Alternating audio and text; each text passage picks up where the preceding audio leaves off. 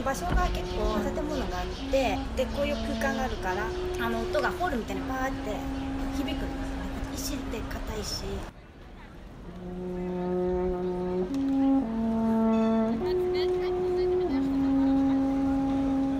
アルコールの曲って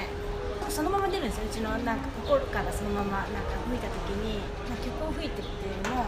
なんかそのまま歌ってるような感じ